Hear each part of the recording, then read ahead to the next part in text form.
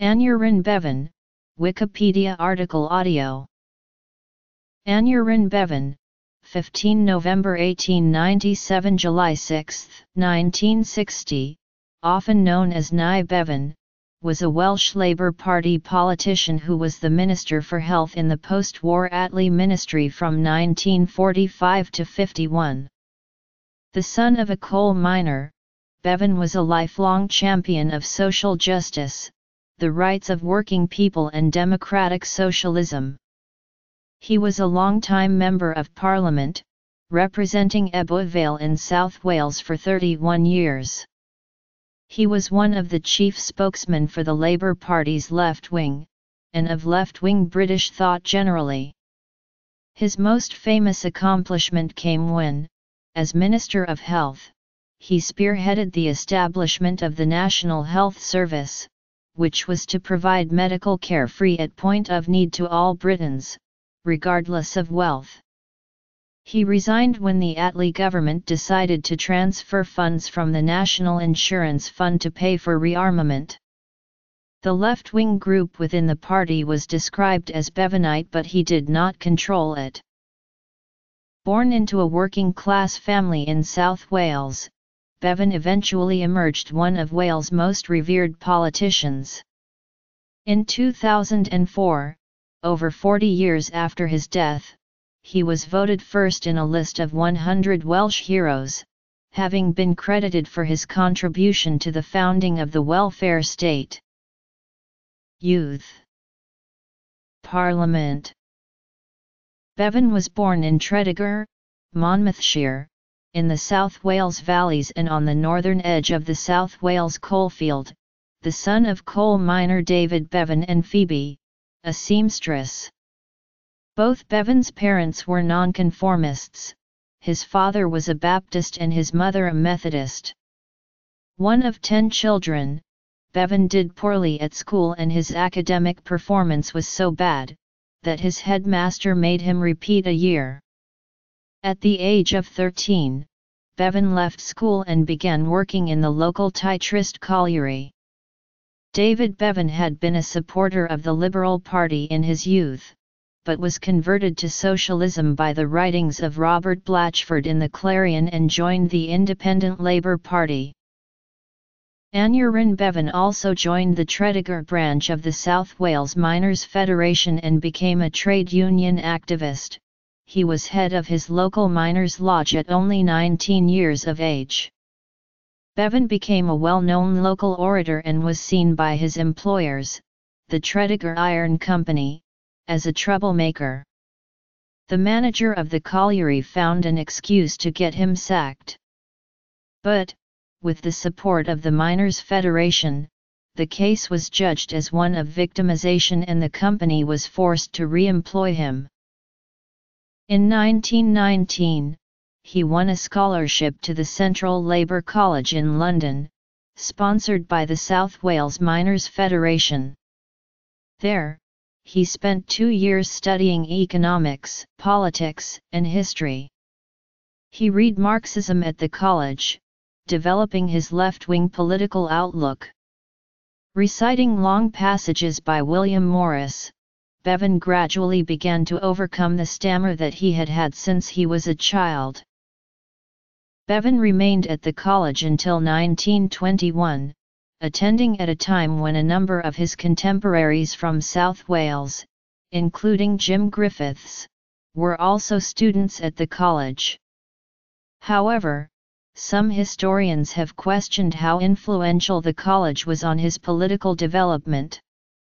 He was not, apparently, one of the most diligent students, and found it difficult to follow an organized routine, including getting up early for breakfast. Bevan was one of the founding members of the Query Club with his brother Billy and Walter Conway. The club started in 1920 or 1921 and they met in Tredegar. They would collect money each week for any member who needed it. The club intended to break the hold that the Tredegar Iron and Coal Company had on the town by becoming members of pivotal groups in the community. Government Upon returning home in 1921, he found that the Tredegar Iron and Coal Company refused to re-employ him. He did not find work until 1924 and his employer, the Bedwellty Colliery, closed down only 10 months later. Bevan then had to endure another year of unemployment. In February 1925, his father died of pneumoconiosis. In 1926, he found work again, this time as a paid union official. His wage of £5 a week was paid by the members of the local miners' lodge. His new job arrived in time for him to head the local miners against the colliery companies in what would become the general strike. When the strike started on May 3, 1926, Bevan soon emerged as one of the leaders of the South Wales miners. The miners remained on strike for six months. Bevan was largely responsible for the distribution of strike pay in Tredegar and the formation of the Council of Action, an organization that helped to raise money and provided food for the miners. Opposition he was a member of the Cottage Hospital Management Committee around 1928 and was chairman in 1929-30. In 1928, Bevan won a seat on Monmouthshire County Council. With that success he was picked as the Labour Party candidate for Ebbw Vale, and easily held the seat at the 1929 general election. In Parliament he soon became noticed as a harsh critic of those he felt opposed the working man. His targets included the conservative Winston Churchill and the liberal David Lloyd George, as well as Ramsay MacDonald and Margaret Bondfield from his own Labour Party. He had solid support from his constituency, being one of the few Labour MPs to be unopposed in the 1931 general election and this support grew through the 1930s and the period of the Great Depression in the United Kingdom. Soon after he entered Parliament Bevan was briefly attracted to Oswald Mosley's arguments, becoming one of the 17 signatories of the Mosley Memorandum in the context of the MacDonald government's repeated economic crises, including the doubling of unemployment levels. However, in the words of his biographer John Campbell, he breached with Mosley as soon as Mosley breached with the Labour Party. This is symptomatic of his lifelong commitment to the Labour Party, which was a result of his firm belief that only a party supported by the British Labour movement could have a realistic chance of attaining political power for the working class. Bibliographic publications He married fellow socialist MP Jenny Lee in 1934. He was an early supporter of the socialists in Spain and visited that country in 1938. In 1936 he joined the board of the new socialist newspaper Tribune.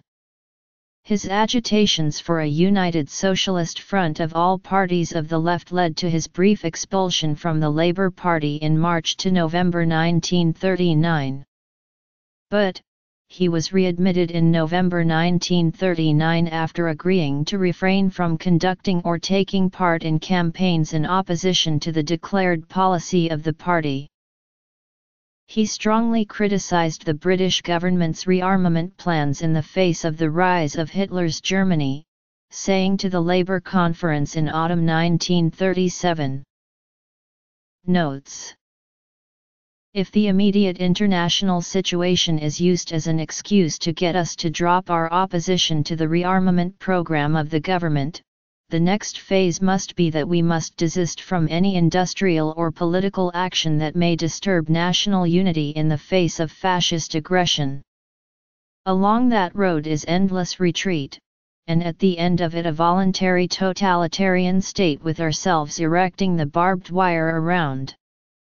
You cannot collaborate, you cannot accept the logic of collaboration on a first-class issue like rearmament, and at the same time evade the implications of collaboration all along the line when the occasion demands it. However the Labour Conference voted to drop its opposition to rearmament. When Winston Churchill said that the Labour Party should refrain from giving Hitler the impression that Britain was divided, Bevan rejected this as sinister. The fear of Hitler is to be used to frighten the workers of Britain into silence. In short Hitler is to rule Britain by proxy. If we accept the contention that the common enemy is Hitler and not the British capitalist class, then certainly Churchill is right. But it means abandonment of the class struggle and the subservience of the British workers to their own employers. However, by March 1938 Bevan was writing in Tribune that Churchill's warnings about German intentions for Czechoslovakia were a diapason of majestic harmony compared to Prime Minister Neville Chamberlain's thin, listless trickle. Bevan now called unsuccessfully for a popular front against fascism under the leadership of the Labour Party, including even anti-fascist Tories. On March 31, 1939 Bevan was expelled from the Labour Party along with a handful of others for sharing platforms with organisations not affiliated to Labour in his pursuit of a popular front. When the government introduced voluntary national service in December 1938, Bevan argued that Labour should demand the nationalisation of the armaments industry, support Republican Spain and sign an Anglo, Soviet pact in return for its support. When Labour supported the government's scheme with no such conditions, Bevan denounced Labour for imploring the people on recruiting platforms to put themselves under the leadership of their opponents. When conscription was introduced six months later, Bevan joined the rest of the Labour Party in opposing it, calling it the complete abandonment of any hope of a successful struggle against the weight of wealth in Great Britain. The government had no arguments to persuade young men to fight except merely in another squalid attempt to defend themselves against the redistribution of international swag. In August 1939 came the Nazi-Soviet Pact. In Parliament Bevan argued that this was the logical outcome of the government's foreign policy. However at this time of national crisis he voted for the first time with the government. He wanted the war to be not just a fight against fascism but a war for socialism. He was a strong critic of the policies of Chamberlain, arguing that his old enemy Winston Churchill should be given power. During the war he was one of the main leaders of the left in the Commons, opposing the wartime coalition government. Bevan opposed the heavy censorship imposed on radio and newspapers and Wartime Defense Regulation 18b, which gave the Home Secretary the powers to intern citizens without trial. Bevan called for the nationalization of the coal industry and advocated the opening of a second front in Western Europe to help the Soviet Union in its fight with Germany. Churchill responded by calling Bevan a squalid nuisance. Bevan was critical of the leadership of the British Army which he felt was class-bound and inflexible. After Ritchie's retreat across Cyrenaica early in 1942 and his disastrous defeat by Rommel at Gazala, Bevan made one of his most memorable speeches in the Commons in support of a motion of censure against the Churchill government. In this he said, the Prime Minister must realise that in this country there is a taunt on everyone's lips that if Rommel had been in the British Army he would still have been a sergeant. There is a man in the British Army who flung 150,000 men across the Ebro in Spain, Michael Dunbar. He is at present a sergeant, he was chief of staff in Spain, he won the Battle of the Ebro, and he is a sergeant. In fact, Dunbar had been recommended for a commission, but rejected it himself. Bevan believed that the Second World War would give Britain the opportunity to create a new society. He often quoted an 1855 passage from Karl Marx, the redeeming feature of war is that it puts a nation to the test. As exposure to the atmosphere reduces all mummies to instant dissolution, so war passes supreme judgment upon social systems that have outlived their vitality. At the beginning of the 1945 general election campaign Bevan told his audience that his goal was to eliminate any opposition to the Labour program, we have been the dreamers, we have been the sufferers, now we are the builders. We enter this campaign at this general election, not merely to get rid of the Tory majority. We want the complete political extinction of the Tory party, and 25 years of Labour government. Primary sources The 1945 general election resulted in a landslide victory for the Labour Party, giving it a large enough majority to allow the implementation of the party's manifesto commitments and to introduce a program of far-reaching social reforms that were collectively dubbed the welfare state. These reforms were achieved in the face of great financial difficulty following the war. The new Prime Minister, Clement Attlee, appointed Aneurin Bevan as Minister of Health, with a remit that also covered housing. Thus, the responsibility for instituting a new and comprehensive national health service, as well as tackling the country's severe post-war housing shortage, fell to the youngest member of Attlee's cabinet in his first ministerial position. The free National Health Service was paid for directly through public money. Government income was increased for the welfare state expenditure by a severe increase in marginal tax rates for wealthy business owners in particular, as part of what the Labour government largely saw as the redistribution of the wealth created by the working class from the owners of large-scale industry to the workers. Peter J. Laugharne, Aneurin Bevan A Parliamentary Odyssey, Volume I, Speeches at Westminster 1929-1944, Manutius Press, 1996, Peter J. Laugharne, Aneurin Bevan A Parliamentary Odyssey, Volume 2, Speeches at Westminster 1945-1960, Manutius Press, 2000, Peter J. Laugharne, Aneurin Bevan A Parliamentary Odyssey, Volumes I and II, Speeches at Westminster 1929-1960, Manutius Press, 2004. The collective principle asserts that, no society can legitimately call itself civilized if a sick person is denied medical aid because of lack of means.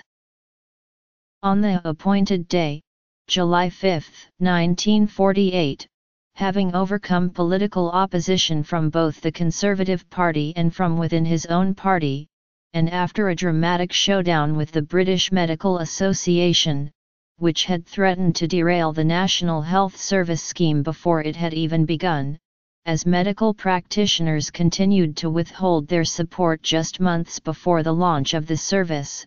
Bevan's National Health Service Act 1946 came into force. After 18 months of ongoing dispute between the Ministry of Health and the BMA, Bevan finally managed to win over the support of the vast majority of the medical profession by offering a couple of minor concessions, but without compromising on the fundamental principles of his National Health Service proposals. Bevan later gave the famous quote that, to broker the deal, he had stuffed their mouths with gold. Some 2,688 voluntary and municipal hospitals in England and Wales were nationalised and came under Bevan's supervisory control as Health Minister.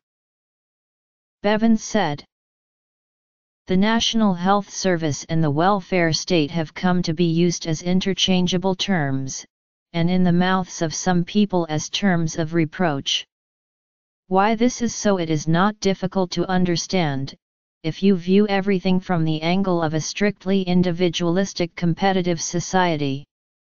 A free health service is pure socialism and as such it is opposed to the hedonism of capitalist society. When Bevan was made a minister in 1945, he envisioned a sector of public housing that would provide people with the choice to live in owner occupation or the private sector. We should try to introduce in our modern villages and towns what was always the lovely feature of English and Welsh villages, where the doctor, the grocer, the butcher, and the farm laborer all lived in the same street. I believe that is essential for the full life of citizen, to see the living tapestry of a mixed community. Substantial bombing damage and the continued existence of pre-war slums in many parts of the country made the task of housing reform particularly challenging for Bevan. Indeed, these factors, exacerbated by post-war restrictions on the availability of building materials and skilled labor, collectively served to limit Bevan's achievements in this area. 1946 saw the completion of 55,600 new homes, this rose to 139,600 in 1947 and 227,600 in 1948. While this was not an insignificant achievement, Bevan's rate of house building was seen as less of an achievement than that of his conservative successor, Harold Macmillan, who was able to complete some 300,000 a year as Minister for Housing in the 1950s. Macmillan was able to concentrate full-time on housing, instead of being obliged, like Bevan, to combine his housing portfolio with that for health. However critics said that the cheaper mass-production housing built by Macmillan was exactly the poor standard of housing that Bevan was aiming to replace.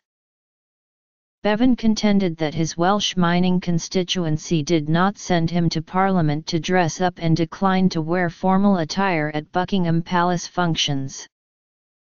Bevan said at a party rally in 1948, that is why no amount of cajolery, and no attempts at ethical or social seduction, can eradicate from my heart a deep burning hatred for the Tory party that inflicted those bitter experiences on me. So far as I am concerned they are lower than vermin. They condemned millions of first-class people to semi-starvation. The comment inspired the creation of the Vermin Club by angry conservatives, they attacked Bevan for years for the metaphor. Labour Party Deputy Leader Herbert Morrison complained that Bevan's attack had backfired, for his words did much more to make the Tories work and vote, than Conservative Central Office could have done. In 1951, with the retirement of Ernest Bevin, Bevan was a leading candidate for Foreign Secretary. Prime Minister Attlee rejected Bevan because he distrusted his personality. According to John Campbell, Attlee thought that Bevan was appointed Minister of Labour in 1951 but soon resigned in protest at Hugh Gaitskell's introduction of prescription charges for dental care and spectacles created to meet the financial demands imposed by the Korean War. Two other ministers, John Freeman and Harold Wilson resigned at the same time. See Bevan's resignation speech April 23, 1951. Later the same year, the Labour Party were defeated at the general election. After Bevan left the Health Ministry in 1951 he could never regain his level of success.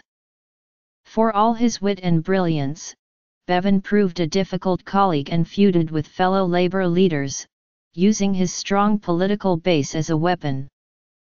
Kenneth O. Morgan says, Bevan alone kept the flag of left-wing socialism aloft throughout which gave him a matchless authority amongst the constituency parties and in party conference. Bevan's last decade saw his political position weaken year by year as he failed to find a winning issue that would make use of his skills.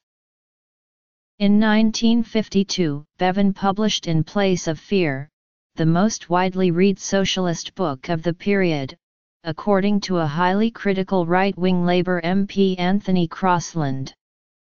According to the Times literary supplement the book was a dithyramb with meanderings into the many side tracks of Mr. Bevan's private and public experience. Bevan begins, a young miner in a South Wales colliery, my concern was with the one practical question, where does power lie in this particular state of Great Britain, and how can it be attained by the workers?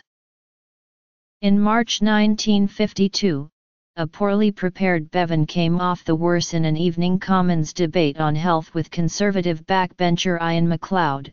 MacLeod's performance led Churchill to appoint him Minister of Health some six weeks after his debate with Bevan. Out of office, Bevan soon exacerbated the split within the Labour Party between the right and the left. For the next five years, Bevan was the leader of the left wing of the Labour Party, who became known as Bevanites.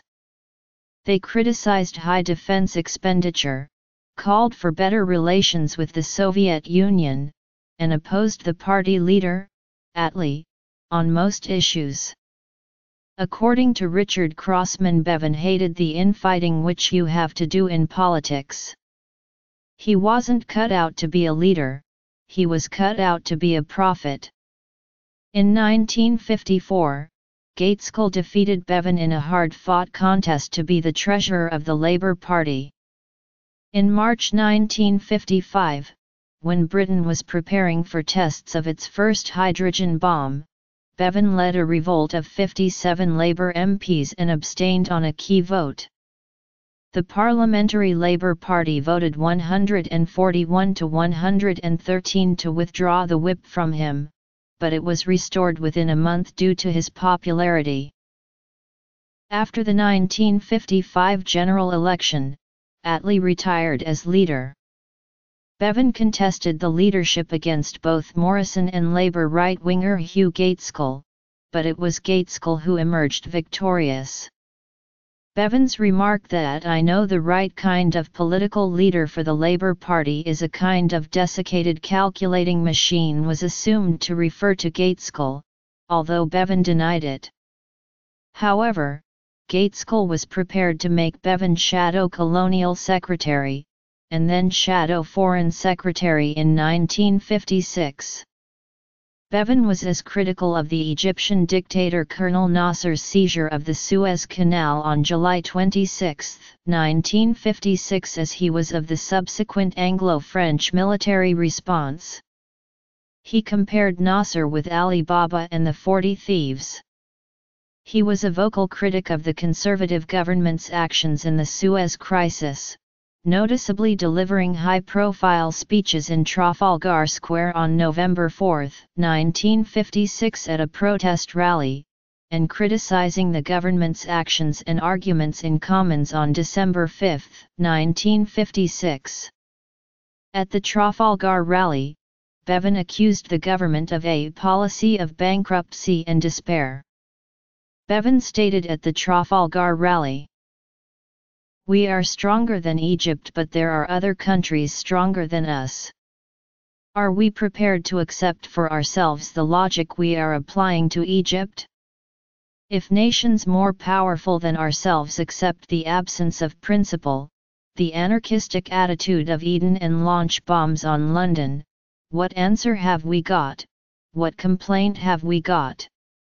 If we are going to appeal to force, if force is to be the arbiter to which we appeal, it would at least make common sense to try to make sure beforehand that we have got it, even if you accept that abysmal logic, that decadent point of view, we are in fact in the position today of having appealed to force in the case of a small nation, where if it is appealed to against us it will result in the destruction of Great Britain, not only as a nation, but as an island containing living men and women.